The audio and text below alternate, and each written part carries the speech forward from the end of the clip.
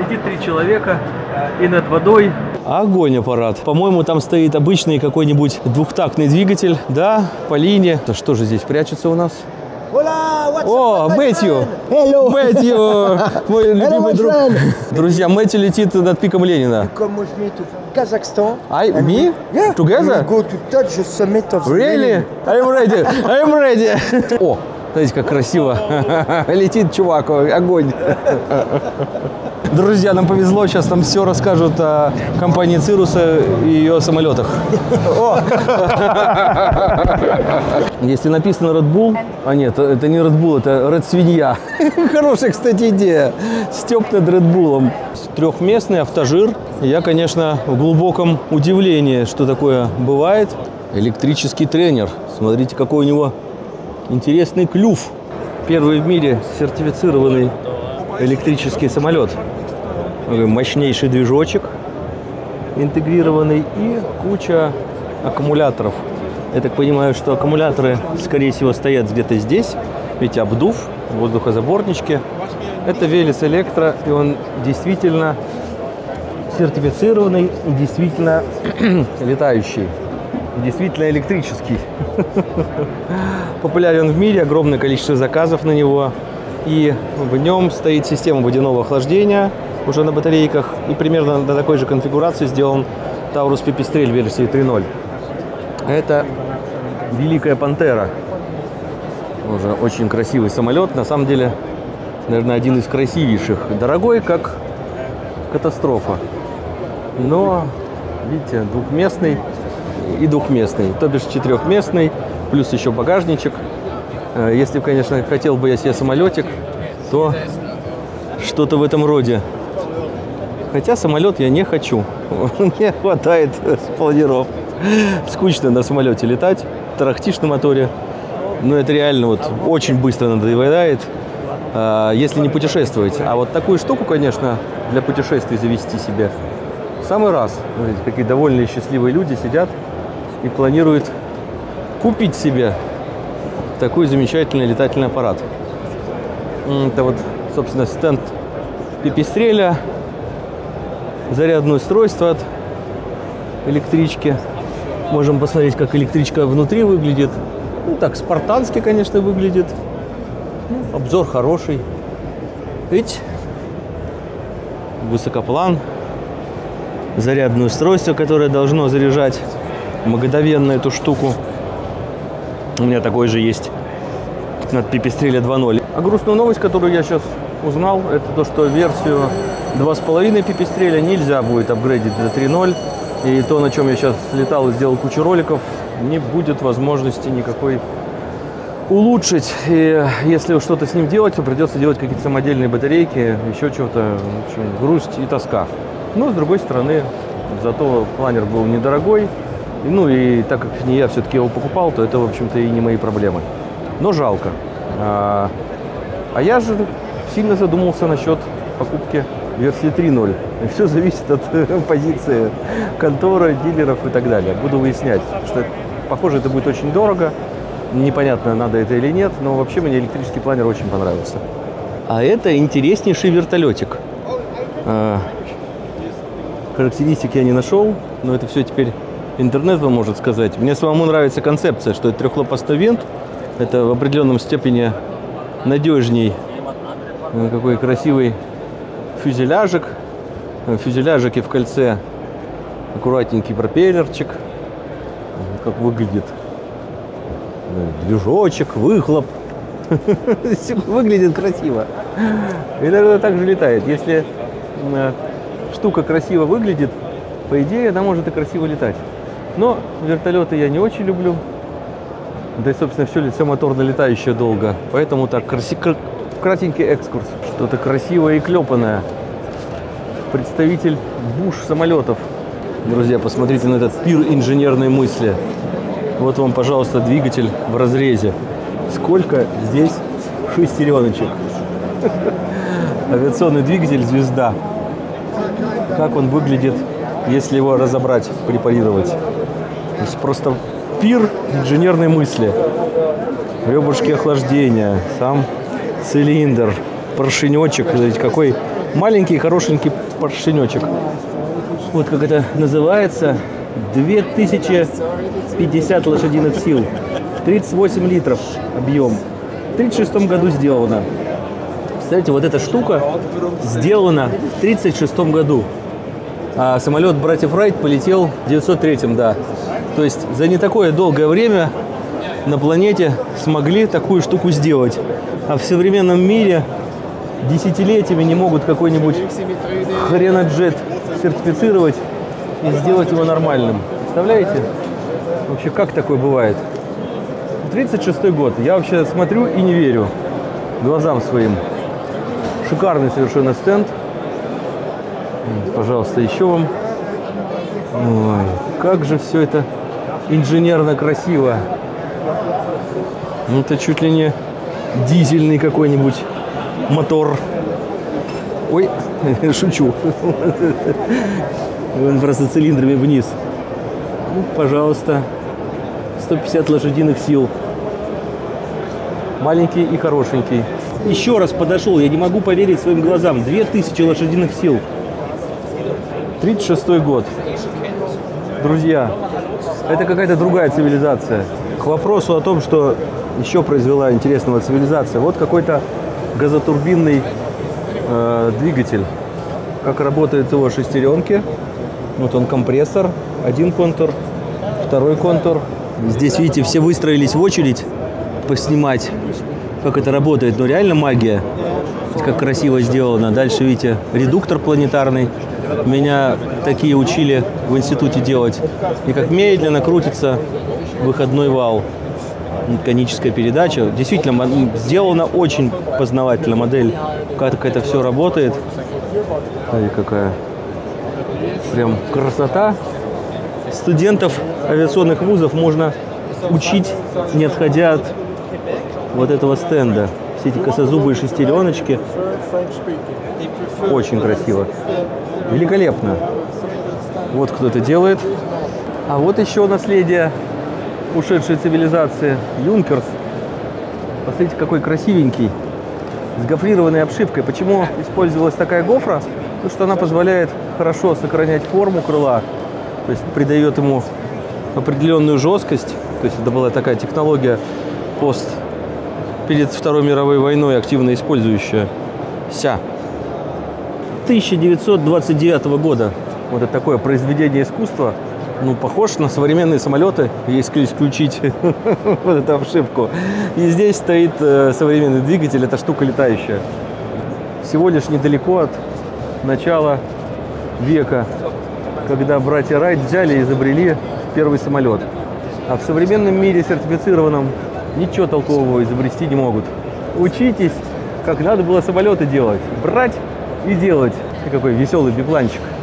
Я вот это место снимал на выставке еще в прошлый раз, но вот сейчас тоже не могу пройти мимо. Это пир инженерной мысли. Знаешь, такой есть стимпанк э, стиль, ну и направление. Вот оно прям, викторианская эпоха. А к чему пришел современный мир? Пожалуйста, вот Honda Jet, летающий сарай для богатеньких Буратино.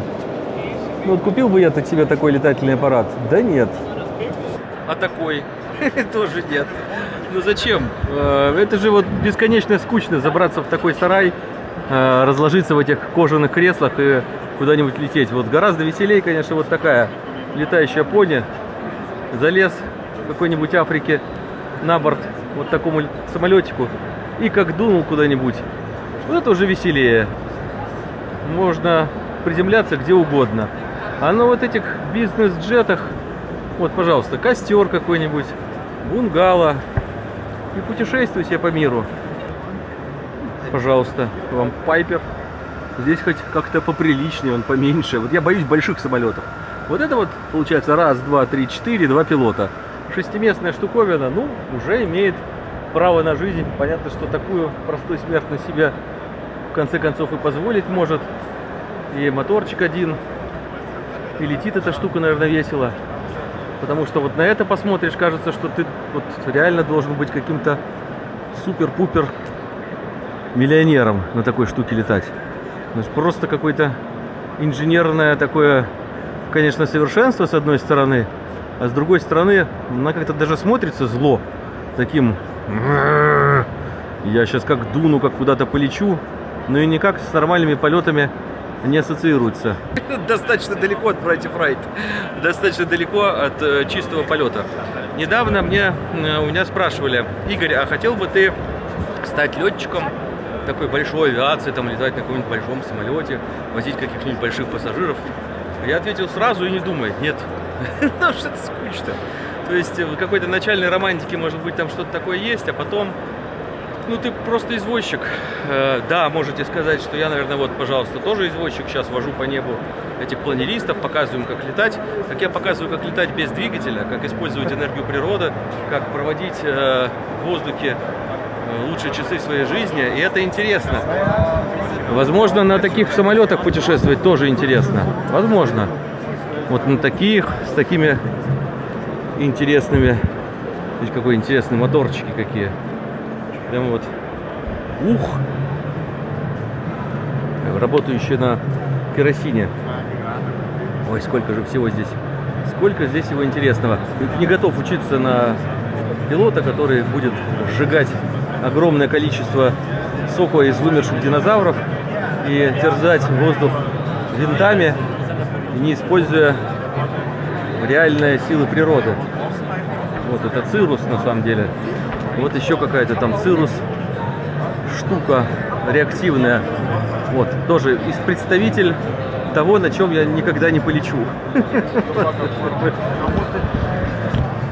Можно и заглянуть в хвост, что же там внутри творится. Есть багажничек. Понятно, что вы можете помечтать, а вот я бы такой купил бы. Знаете, как э, бывают люди, которые спрашивают, а вы на планере можете отвезти что-нибудь багажнике? Привет всем планеристам. Привет. Э, Я говорю, да, не можем. Так как говорит, зачем это? И это всегда напоминает мне э, рассказ про то, как на Феррари каком-нибудь возят э, картошку на дачу. Вы такого делать не будете. Поэтому каждая штука для своих целей. Это штука, чтобы показать свою состоятельность жизни. Купить такой самолет, если ты там изобрел кучу всего, придумал какие-то э, схемы, э, изобретения, еще что-нибудь, вот в конце концов показал, что ты настолько ценен цивилизации планеты Земля, что она разрешает тебе выпендриться и купить такую красивую игрушку, то да, ты ее, конечно, купил и показал всем, что можешь летать на Цирусе.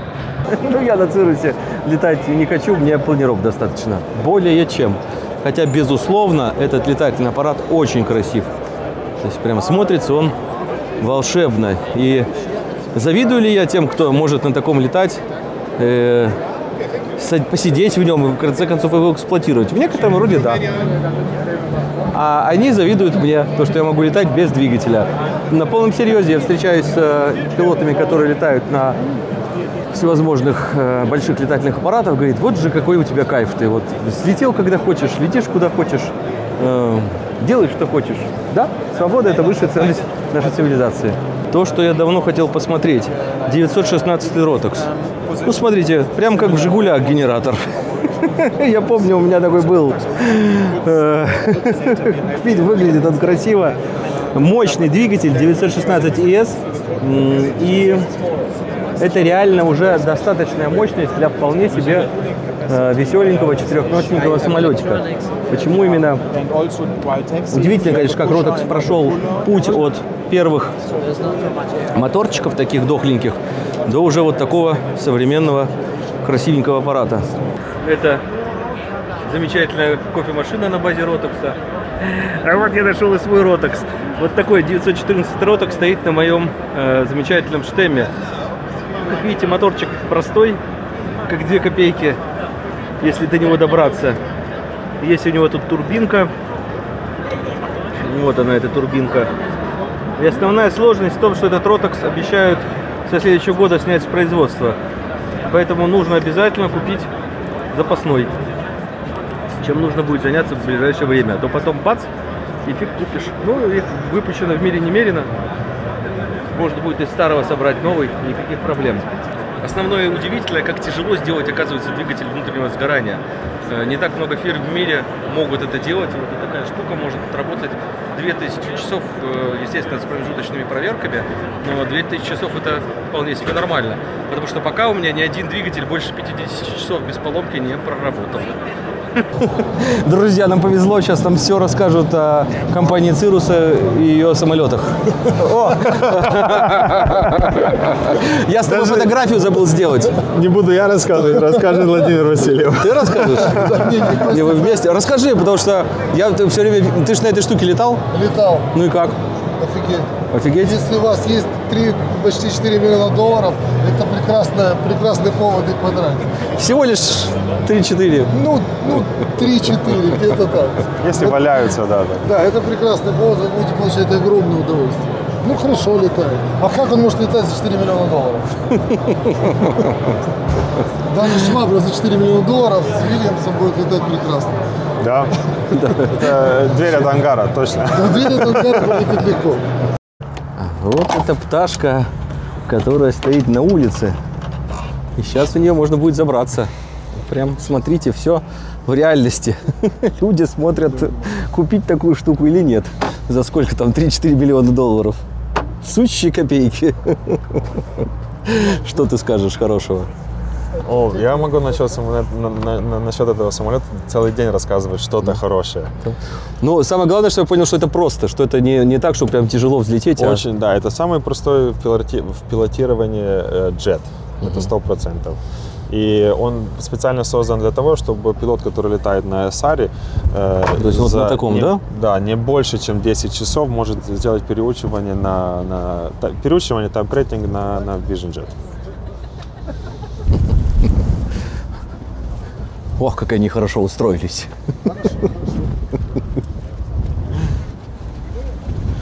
Берем не глядя, чую. Э, На бюджет 3-4 миллиона долларов можно купить 8 планеров. Один Восемь. такой или 8 Восемь планеров. хороших планеров. 8 новых абсолютно. Но 400 тысяч евро. Я сейчас, я сейчас заказал себе Аркус, получаю его в августе. Он 400 тысяч евро стоит. Соответственно, Можно школу. Делим 4... 10. 10, да. Но, конечно, зато на такой штуке можно... Два ротокса 915, представляете? На вот таком вот интересном будущем самолетике высокопланчике. Причем тандемом. Какая-то зажигалка бешеная должна быть. Просто какой-то ух. Она нужна, чтобы летать или вдвоем, или втроем. Посмотрите, какие потрясающие есть картинки. О, вот так можно летать.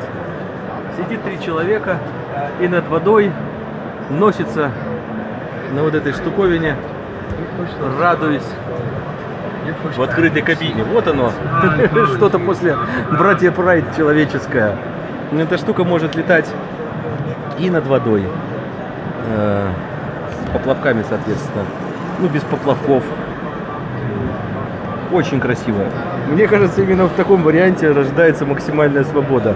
Поэтому к вопросу, а купил бы я себе какой-нибудь самолет, во, вот эта штука, вот зажигалка, бешеная зажигалка. Это парашюты. Такой у меня, кстати, два парашюта у меня таких есть. Вполне себе. О, смотрите, как красиво. Летит чувак, огонь. Хорошие парашюты, мне нравится. Буш самолет, Carbon Cup. Ну вот чем буш самолеты интересны, тем, что посмотрите, какие шасси огромные. Эта штука приземляется где угодно в пустыне, в буше. Буш это кусты. И взлетает. Это, конечно, чем мощнее мотор, тем бодрее эта штука взлетает. Мне такие самолетики нравятся. Как вы видите, это наш любимый самолет Робин, который буксировщик на нашем аэродроме был. Он крепкий, деревянный, хороший, надежный. Можно сказать, один из моих любимейших самолетов. И вот вам, пожалуйста, мистер Шмидт. Наверное, реактивный. Посмотрите, у него спереди маленькая такая штучка. Э, скорее всего, это скорость эта штучка считает. Вряд ли это какой-то... А может, привод чего-нибудь. Типа насос какой-то качает, качает что-нибудь, и потом бам. Надо почитать. МЕС 163Б, пожалуйста. Как сказал один мой хороший друг, сюда даже дорого заходить. Это гармины И это то, что делает из пилотов э, то самое, о чем мы только что рассуждали, что можно нажать кнопку и э, сам планер, самолет и так далее. Но планер не приземлится, но самолет, как вы слышали, может долететь до аэродрома, приземлиться, поговорить с диспетчером, и вы просто выйдете из него и пойдете дальше. Хорошо это или неплохо? На мой взгляд, в некотором роде хорошо. То есть вы одним взглядом на прибор, например, у меня в штеме сейчас стоит вот такой маленький экранчик, и там полностью показываются все параметры двигателя. И ты, вот, например, как здесь, и ты сразу видишь, ага, там типа в норме, хорошо и прекрасно. То есть это немножечко уменьшает э, количество внимания, которое требуется пилоту. Но, с другой стороны, если полностью прибором заменять реальную жизнь, то вы просто теряетесь. Вы начинаете летать по такой карте и забываете, что бывает настоящая. Когда человеку нужно перенести, э, попробовать по бумажной карте куда-то пролететь, понять, что такое линейный точечный ориентир и как ими пользоваться, человек не может это сделать. Э, Поэтому, на мой взгляд, все такие инновации должны быть в меру. То есть приборы использовать нужно, безопасность это повышает, но в то же время не нужно забывать, как же летать по старым добрым бумажным картам. Вот такие приборы у меня на моем планере. Сразу и высотомер, управление рацией, и транспондер. Насколько это хорошо работает? Работает прекрасно, кстати, как и Air Traffic. Ну, например, у этой же фирмы я покупал это Aerovionic. Замечательный прибор Butterfly, Vario. И вот это как раз не работает. Это неудача этой фирмы. Так что надо понимать, что как есть достижения, так есть и неудачи. Но будем считать, что я им дал им второй шанс. Как вам, друзья, такой моторчик на паромотор? Смотрите, моща, можно снять тонны тяги. Посмотрите, друзья, какой шикарный вертолет, причем четырехместный, с э, четырехлопастным винтом, что, как вы уже знаете, безопасно. То есть самая ненадежная конструкция – это двух, две лопасти, потому что там есть так называемый режим, когда разгрузил лопасти, все, и кирдык вертолету. А тут вот, пожалуйста, газотурбинный моторчик один, достаточно мощный, и такой веселенький четырехместный вертолетик. Ну, должно быть зажигалка, огонь, вентилятор для того, чтобы с той стороны стать, на тебя дует, когда жарко воздух. Вот его характеристики можете включить, и как дунет полторы тысячи ньютонов. Ну, немало, на планер пойдет. Очередная электрическая штуковина. Видите, друзья, сколько всего нужно, чтобы полетел электрический летательный аппарат. И контроллер вам, и видите, куча систем охлаждения, потому что эта штука требует все-таки охлаждения, огромное количество энергии выделяется в виде тепла. А, и это еще не про, я думаю, что это за что это за штуки? Это на самом деле водородный водородный летательный аппарат. И вот он, кстати, лежит баллон с водородом. Все понятно. Видите, Волков двоечник. Сначала смотрит, думает, почему так сложно все с электрическим двигателем. Оказывается, здесь не только электрический, здесь еще и, видимо, тепловые эти топливные ячейки стоят. Мгм. Вот этот Бристоль экспериментальный электрический. По крайней мере, так написано. А вот его, видимо, двигатель. Видите, какой чемодан с водяным, естественно, охлаждением. Почему водяное охлаждение? Потому что снять, конечно, воздухом, это можно, наверное, на планере еще как-то продуть, обдуть. А такой самолетик, когда прячешь моторчик внутри, обдуть сложно. Всякие контроллеры. Ну, контроллеры есть шинка уже с воздушным охлаждением. Это тут что-то такое. Что это такое? Батарея модуль, батарейные модули. Какие-то они маленькие подозрительно. Друзья, не могу успеть вам все подробно рассказать, потому что не успеваю. По крайней мере, хотя бы показал. Показал. Вы можете набрать это дело в Википедии и все внимательно про это прочитать. По крайней мере, выглядит это все красиво. Вот его характеристики. Чем мне нравится Бристоль? Тем, что я на нем учился в свое время летать. Самолетик очень дружелюбный. И я испытываю к нему глубокую и непроходящую ностальгию. Вот эти заклепки, которые вы видите, которые портят аэродинамику, на самом деле можно заказать клепку обычную, потайную, огромный багажник у этого самолетика. И он очень легко управляемый, летучий, удивительный аппарат. Очень я его люблю. Какая-то веселая летающая лодка. Мотор сверху высоко. Ну, понятно, что это крыло просто обрезано. Наверное, какой-то концепт. Добывают денег на этот проект, скорее всего. Объясняет, почему он лучше всего на свете.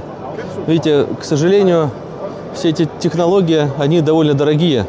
На них нужна куча денег. Электрический тренер. Смотрите, какой у него интересный клюв. Расцветка, конечно, я дико не люблю сочетание зеленого с желтым. То есть для меня, конечно, застрелился бы, если бы у меня был такой цвет э, летательного аппарата. Хотя я все время говорил, что у меня никогда не будет зеленой машины. А так получилось, что у меня долгие годы был, вот буквально год назад продал э, джип Toyota Land Cruiser зелененького цвета. И ничего, привык. Как это выглядит изнутри. Вполне себе тренер, вполне себе зарядным устройством, которое идет от этого вот замечательного прицепа. То есть вы приехали на прицепе. Кстати, вот это была моя мечта сделать э, школу парапланерную лебедочную, чтобы все заряжалось от солнца, лебедка могла от солнца работать. Я считал, что это вполне реализуемо. Работает вот эта сторона, направленная, например, на юг, и крыша. И внутри, как вы видите, стоит замечательно этот альфа-тренер. Собирается элементарно, ну, как планер. Действительно собирается эта штука быстро. И, пожалуйста, летайте на солнечной энергии. Если бы не цвет, вообще бы идеальная штука была бы. Надо будет немножко про него больше почитать. Выглядит красиво. Почему такой длин- длинный нос? Ну, для того, чтобы увеличить высоту. э, то есть, по идее, с точки зрения центровки, аэродинамики, можно было бы, наверное, короче сделать. Но тогда не хватит расстояния от винта до земли. Поэтому низ, нос удлинен. Шасси, как на планере, велосипедного типа, там, с хорошими амортизаторами, чтобы студенты могли долбить. На конце э, крыла колесики, на которых он может скакать. Огонь, если бы не был зеленым, еще лучше был бы. Контроллеры какие бывают. Вот здесь даже на 400 киловатт контроллерчик бывает. Вот такой нам на лебедку надо. А это как выглядит моторчик. Я так понимаю, что электрический с контроллером. Если здесь два контроллера по сколько там киловатт, значит какая должна быть мега супер пупер мощность. Вот как это выглядит. А, Фундаментально, конечно. И видите, здесь вся механика, видимо, винт изменяемого шага. Да, винт же, видите, вот флюгируется. Очень интересно. Возьму себе даже визиточку. Какая волшебная штука. Трансмиссия от вертолета.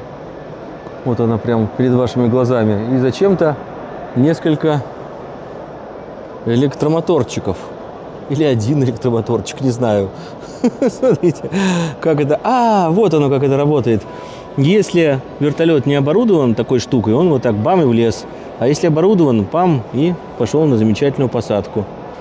На самом деле, весьма здравая штуковина, которая способна помочь в случае отказа двигателя. Ведь действительно, какое-то время эта штука может немножечко капельку летать с помощью электромоторчика. Мы, между тем, зашли в зал всевозможных вертолетов.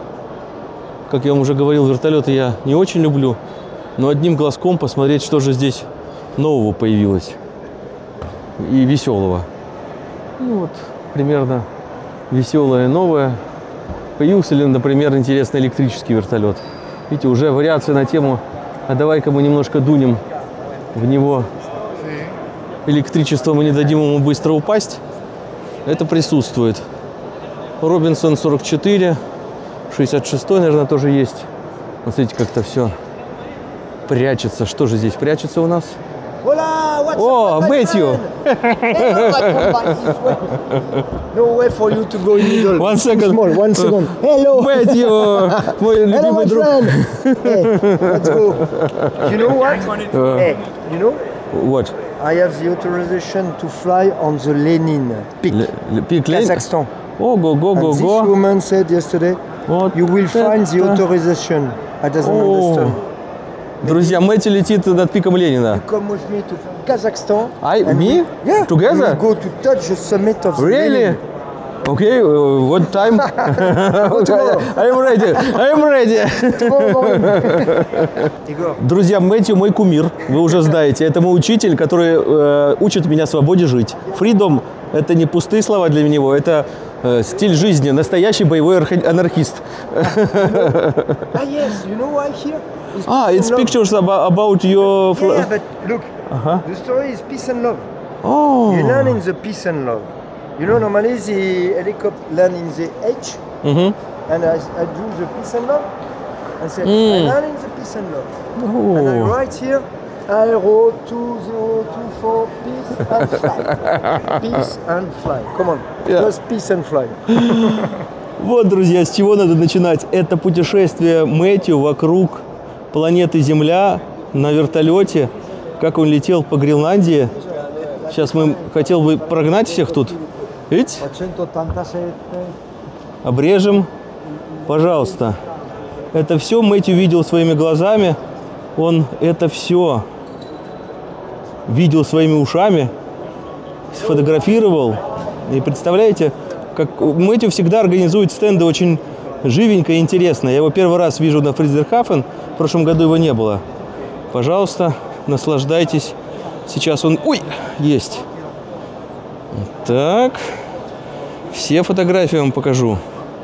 Абсолютно. Гениальное на самом деле решение. Мне кажется, это решение гениальное, как и сам Мэтью. Вы можете посмотреть, как он летал вокруг планеты Земля. Итак, э, фильм я вам категорически рекомендую с ним посмотреть, как он путешествовал из э, Франции через э, Атлантику, через Гренландию, э, в Соединенные Штаты Америки, потом в Канаду и в итоге приземлился на Чукотке. Как он выжил на Чукотке, это отдельная история, но лучше посмотрите ролик, там все написано. А это вертолет, который он продает. Это замечательный вертолетик Ранобот и компресс. Видите? Их два версии. Он очень простой. New engine, Igor. New Engine. Yes, yes. Это новый двигатель, более мощный, более интересный. It's more powerful engine. Yes, and it's a uh, cooling system with only water. Yeah, Without and it's- oil. Yeah, no, no air. Normally in the Rotax you have air plus water, and this was only water system. Like this, when you are maneuvering, it doesn't take uh, temperature, you know. And it's 160 horsepower. Да, помощнее и только водяное охлаждение. То есть беда вообще всех этих ротексов – это проблема, что часто комбинированное охлаждение, вода и воздух. А здесь чисто водичка. Ну, естественно, стоят мощнейшие радиаторы, которые сливают всю энергию лишнюю в пространство. Замечательный вертолет. Замечательный Мэтью. Thank you very much. И не забывайте, мы летим на пик Ленина. Yes, See you in yeah, we go. We go, we will go. Окей. Чао. Как вы видите, не зря я, не зря я пошел посмотреть одним глазком на вертолетике. Теперь уж придется всем вам показать. Вот, пожалуйста, сколько их. И такие с хвостом, и такие военные. Не, военные я не люблю. Они, конечно, нужны иногда, но в целом вот это я не люблю. Пойдем отсюда куда-нибудь в более позитивное пространство, где летают вертолетики, не участвующие в боевых действиях. Вот, пожалуйста, вот эти. Выглядит он симпатично, тоже такой веселенький. Вот люди нормально уже пиво вовсю пьют. Может, мне нальют? Ну, нет, не нальют. Эх. И такие вертолетики, и сякие. Видите, друзья, я, к сожалению, мало что могу вам рассказать, потому что на вертолете не летаю. Могу вам сказать только, что у Мэтью самый лучший вертолет, потому что это Мэтью. Потому что с его стремлением э, к свободе никогда бы он не выбрал вертолет, который будет доставлять ему массу хлопот. Кстати, вертолет ранобот, э, вот этот ранобот купил себе мой друг Арминас, на нем прекрасно летает. Есть небольшой фильм, как он на нем летает. Ну, это бел. Ну, это вот такая классика, м, куча народу сидит в огромной штуковине, которая жрет кучу керосина и куда-то летит. А вот этот цепелинчик летает здесь, да, вот в прошлом году он летал, сегодня погода плохая. Автожиры. У меня все говорят, Волков, почему ты не делаешь видео про автожиры? Друзья, потому что я в них не верю. То есть, знаете, как бывает? Верю и не верю. Автожиры для меня удивительные вот этой самой концепции свободонесущего ротора, который крутится над этой штукой, жужжит, и эта штука летит. То есть мощный двигатель толкает автожир вперед, сверху вращается ротор, который там для хорошего взлета предварительно раскручивают. И если раньше это была обычно палка э, с мотором и колесами, то сейчас это уже такой весьма интересный летательный аппарат. Посмотрите, даже снизу есть окошки, чтобы все смотреть. Он уже трехместный. То есть трехместный автожир. Я, конечно, в глубоком удивлении, что такое бывает. Какой-нибудь 916, наверное, Ротокс уже стоит на нем. Достаточно мощный, чтобы такая штука летала. То есть трехместных автожиров я еще не видел. Да, мир куда-то катится. Смотрите, еще, я так понимаю, чемодана три можно погрузить и с этим всем барахлом взлететь. Очень интересно. Какой-то редбуловский веселенький вертолетик. Трехлопастной. Должен жужжать очень весело. Если написано Red Bull... А нет, это не Red Bull, это Red Свинья. Хорошая, кстати, идея. Степ над Red Bull. вот так со стороны посмотришь, действительно Red Bull. Это красная свинья. Вот этот вертолетик. Можно посмотреть его характеристики. Но меня больше всего впечатлил все-таки вот этот трехместный автожир. Продолжая тему автожиров, можем посмотреть еще на двухместный. На двухместный. Они, конечно, сильно спрогрессировали по сравнению с прошлым годом. Было буквально раз-два обчелся позапрошлым, а теперь их, можно сказать, табунами этих автожирах. Ну, хотя нет, не так уж, чтобы табунами. Видимо, где-то еще найдем. Посмотрите, какой веселенький бипланчик. Это нужно для того, чтобы видеть скорость. То есть добегающий поток добегает и показывает вам скорость полета. Огонь аппарат. Э, по-моему, там стоит обычный какой-нибудь двухтактный двигатель. Да, по линии, моторчик. Тот, который наставят на обычно на паромоторы.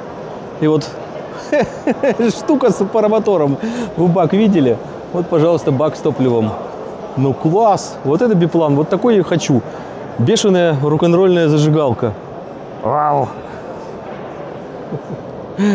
Это, конечно, двухтактный мотор. Это, конечно, некоторый небольшой на минус, но в целом дельтапланчик, на котором ты можешь взять и зажечь, супер.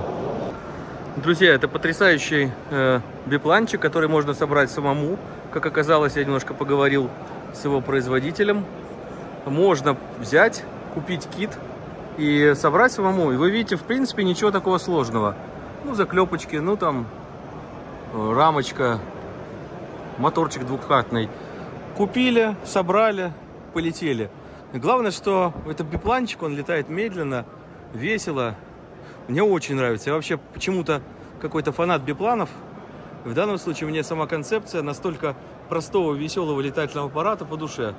И главное, что сидишь, вы видели, как на нем сидится. Вот он как раз. Я еще могу ногу поднять. И, видите? Слушайте, ну прям огонь, аппарат огонь. И вокруг пространства ты смотришь вот так, под такой, как на параплане. Только это летательный аппарат, который может там... Как выглядят органы управления? Ну вот ручка управления классическая. Вот радиостанция как выглядит. Вот пространство с одной стороны, вот пространство с другой стороны. Представляете, вот под вами воздух и счастье. Очень интересно. Пожалуй, одно из лучших, э, что я видел на выставке.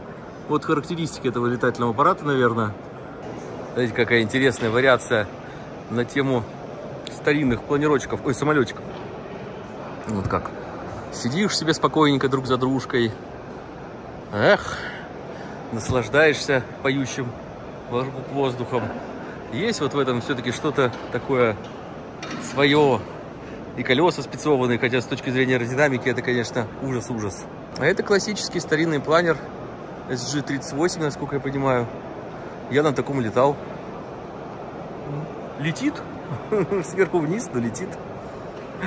Э, Это можно закрепить.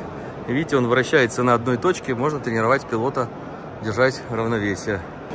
Интересную штучку нашел. Двигателя для вот таких вертолетиков.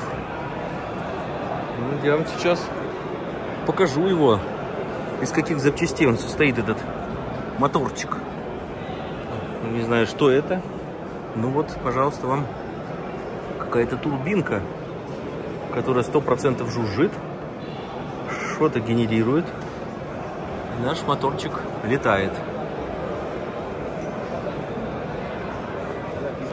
Какой инновационный автожир. Посмотрите, наверху у него может быть тарелка с парашютом. Зачем там такая тарелка? Непонятно. Он у нас двухместный. Мне, конечно, больше трехместный впечатлил. Но выглядит тоже впечатляюще. Ну и видно по экранчику, что вполне себе летают. Автожиры идут в светлое будущее. Почему я всегда шучу, что не верю в автожиры? Ну, потому что все, кто летает на автожирах, обычно говорят, ой, такая вот офигительно безопасная, всепогодная, вселетающая волшебная штуковина. И всегда хочется в этом случае сказать, если она такая замечательная, почему же все на ней не летают? Где-то есть подвох. И там на самом деле есть. Э, э, лю- любой летательный аппарат с вот этой вот крутилкой на верхе не любит дачу ручки от себя, разгрузку винта. Мой друг Андрей хочет купить такой летательный аппарат. Это Ризен, двухместный самолетик. Он может быть ультралайтом, а может быть и совершенно обычной версией. И что интересно, это его характеристики достаточно уникальные. То есть эта штука очень быстрая. Она может шпарить там под 300 километров в час при весьма разумном расходе топлива. Ну, достаточно красивый. Не знаю, ну, может быть, нос как-то так... То есть сказать, что это прям идеальные аэродинамические формы, не знаю, не уверен. Но в целом все подчинено одной мысли. Летать быстро. И летит он действительно быстро и с хорошим аэродинамическим качеством. Так что, Андрюха, если смотришь мое видео, покупай такую штуку. Выглядит красиво. Немножечко еще зальчик у нас попался с самолетиками. Уже выставка заканчивается. Все уже уходят домой. Вот мы вам... Наконец-то я дошел до этого Ризана, потому что обещал заснять. Шасси красиво так смотрится. Тык, видите, все закрывается. Шасси, когда убирается, все гладенькое, ничего не торчит. Какая плотная компоновочка внутри кокпита. Видите, все подчинено, опять же, идее скорости. А, Самолет с посадкой последовательной. Почему так? Потому что в этом случае меньше мидель. И эта штука может лететь быстрее при том же расходе топлива. Но, конечно, если заводить самолет, то тандемная посадка мне, например, совсем не нравится. Я приверженец вот таких схем, когда ты сидишь уже рядышком. Иначе зачем заводить двухместный самолет?